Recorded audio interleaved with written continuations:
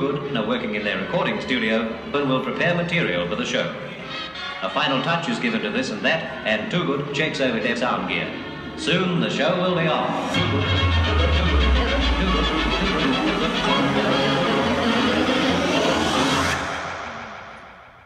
That's almost too good to be true.